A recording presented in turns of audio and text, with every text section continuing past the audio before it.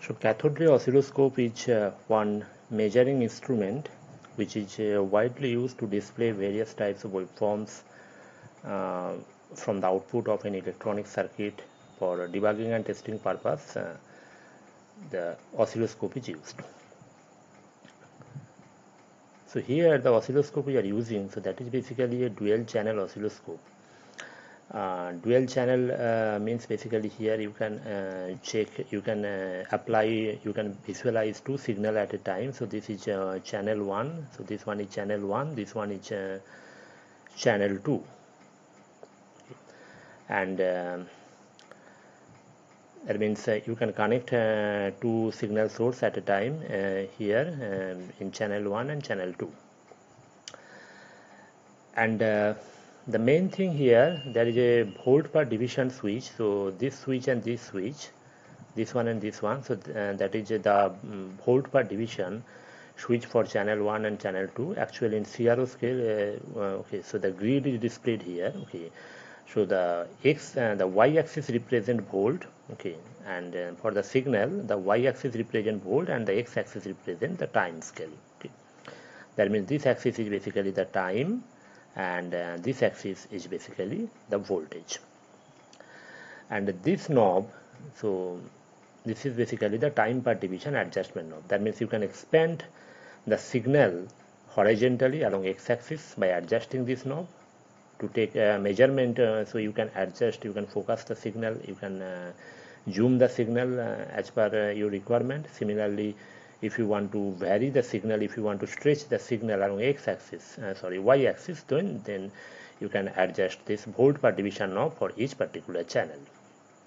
Apart from that there are some other uh, switches are present some other uh, functions are present uh, uh, sometimes they are used for some specific application. Also there is a focus intensity uh, switches which is available in almost all CRO and uh, which is used to focus uh, to change the brightness and to change the focus of uh, your display okay.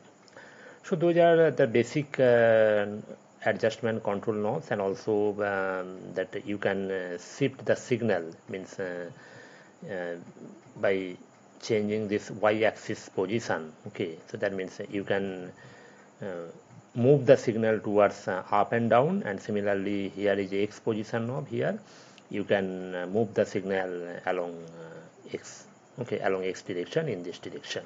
Okay.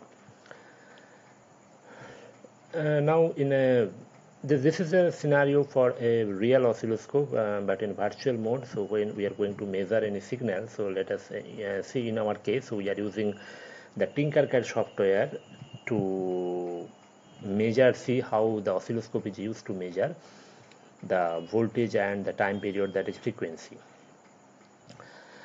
So to use the tinkercad so you, you have to go to tinkercad.com website and just create a free account and uh, from there you can go to tinkercad circuits okay?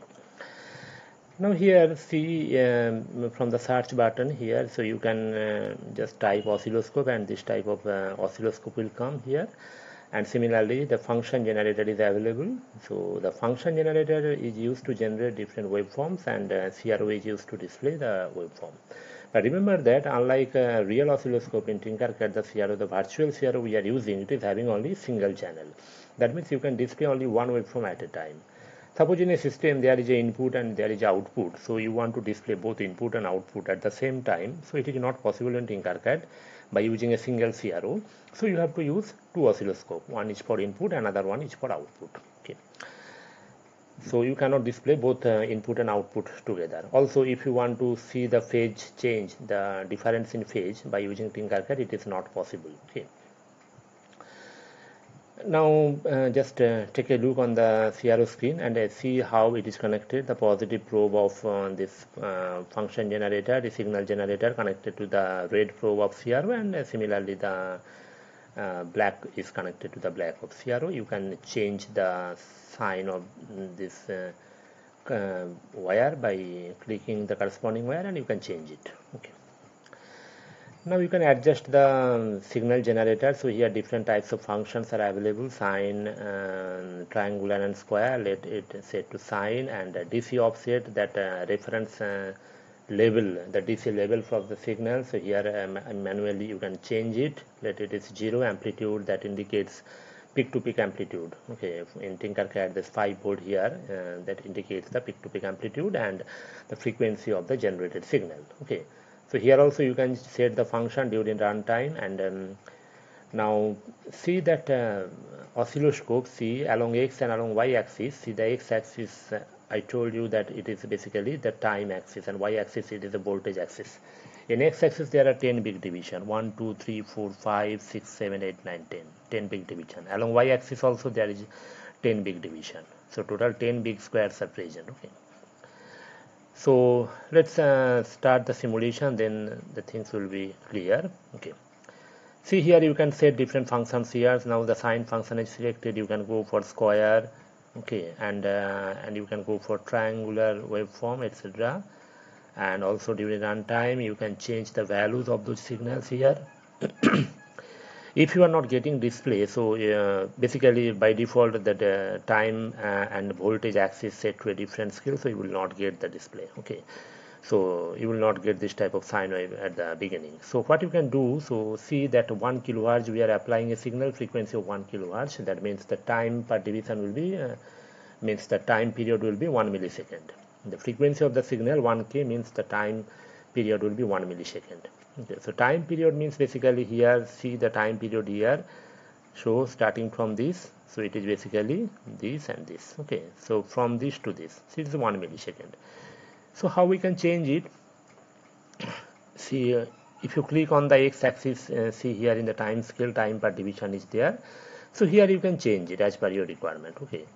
So here I said time per division 0.5 millisecond. That means uh, that time period 1 millisecond so you will get the, that uh, two big square. See here starting from here the time period represented by two big square two big division. Starting from here one division two division. So each division okay see the time per division? Time per division set to 0.5 millisecond. So each big division represent 0.5 millisecond. So two big division means one millisecond. So the time period is one millisecond. From the CRO we, we got the result time period is 1 millisecond so frequency is 1 kilohertz and the same frequency we are applying. So this is the calculation process. And here see the 5 millisecond means the total 10 big division. That is 5 milliseconds so each big division represents 0.5 millisecond and uh, that is already set here see 0.5 millisecond time per division. So since here along x there are total 10 big division so total time scale is 5 millisecond okay the same thing is true for voltage axis. There are total 10 big divisions. So uh, here it is displayed as 10 volts so each big division represents 1 volt. Okay. So now see uh, our signal covers how much division? This is 0.5 half. This is 1 2 so total peak to peak it is coming 5 division. So 5 division means uh, so each uh, the volt volt per division uh, okay. So here this one will come automatically so 10 volt okay. So that means total 10 division represents uh, 10 volt each division represents 1 volt. So our signal covers 5 division. So this is uh, 2.5 positive cycle negative cycle 2.5 so total peak to be 5 division that represents 5 volt. So here uh, in the signal generator we are also applying 5 volt. So in this way we can uh, measure the signal. Now if you change the time per division later uh, from 0.5 I change it to 1 now each big division represent 1 millisecond so the signal will be compressed. See here. Now the signal will be compressed because uh, our signal's frequency is 1 kilohertz. So time period will be 1 millisecond. So it will be within 1 square. See starting from here within this. So this is the time period. Now if you change it now see uh, the total will be 10 millisecond so you can change it. Let uh, I set it to 0.1 millisecond. Okay. See what happens. 0.1 millisecond the signal will be stretched. Okay. So because uh, our frequency is 1 kilohertz 1 millisecond. So this the complete time cycle. Total 10 division will come. Each division represent 0.1 so total 10 division means 1 millisecond or 1000 microsecond. So in this way you can set uh, the scale uh, in the Tinkercad and you can measure the frequency of any signal okay by using this virtual oscilloscope. But remember that you can only display a single waveform. If you want to display input and output of any circuit at the same time so it is not possible. You have to use two separate oscilloscope in the Tinkercad